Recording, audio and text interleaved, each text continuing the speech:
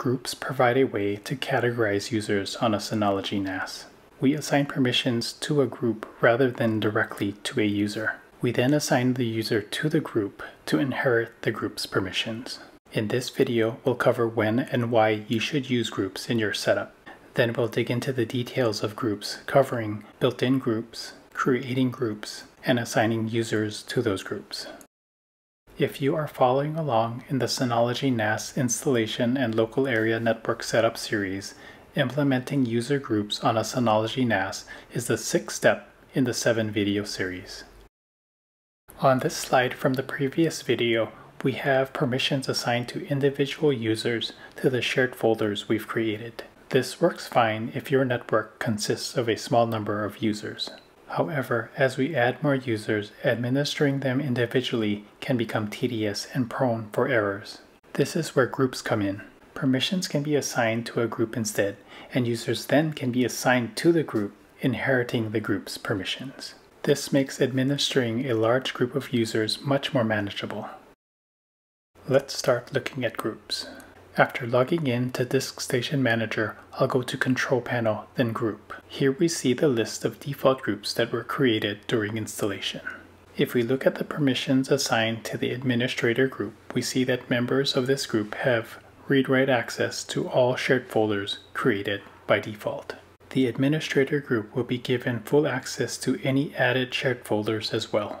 The HTTP group is the default group for web services and currently have no permission set up. You will need to assign permissions to this group if you enable web-based services. The users group is the default group all users are added to, and in our example network, we can take advantage of this group. Looking at our slides again, we see that both the managers group and employees group have read-write access to the shared folder. Assuming all users will have read-write access, we can eliminate this duplicated setting and assign read-write permissions to the users group for the shared folder to fulfill this requirement. Here I'll edit the users group and assign read-write permissions to the shared folder and click OK. Let's now add a few groups.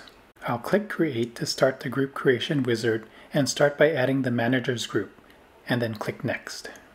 Managers should have full access to the confidential and employee policy shared folders, so I'll select a checkbox under the read-write column for these folders.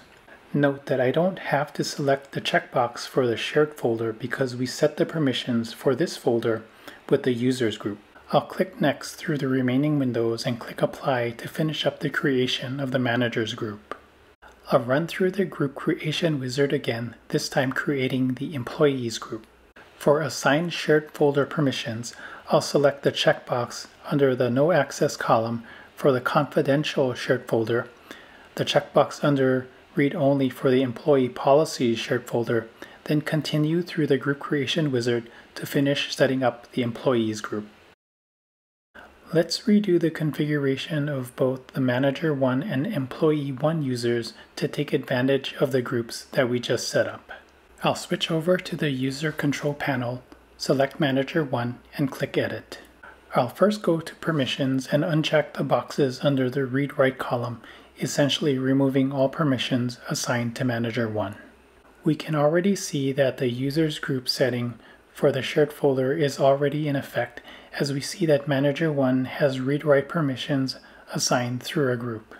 I'll click OK to confirm the changes, then click Edit and view permissions once again. We can see now that Manager 1 currently has no access to the confidential and employee shared folders. I'll switch to the User Groups tab and add Manager 1 to the Managers group by selecting the checkbox under the Add column and click OK. Once again, I'll click Edit, bring up permissions, and now we see the read-write permissions added through Group Permissions for the Confidential and Employee Policies shared folder. I'll click OK to close the settings for Manager 1 and next reconfigure Employee 1. I'll this time go to User Groups and select the checkbox under the Add column for the Employees group and click OK. I'll edit Employee 1 once again, select the Permissions tab, and we can see that group permissions of no access for the confidential shared folder, read only for the employee policy shared folder, and read-write permissions for the shared folder are all properly in effect. I'll lastly uncheck the boxes assigning permissions directly to employee 1 and click OK. Let's now create a new user and take advantage of the groups we've set up. I'll run through creating a new employee named employee 2, making sure to add the user to the employees group. On the Assign Shared Folders permission window, we already get a preview of the group permissions that will be assigned to the user, which look to be fine. I'll finish up the user creation wizard and bring up the permissions of employee 2 to confirm that the proper group permissions are in place, which they are. We now know the power that groups can provide, especially if our network has more than just a handful of users.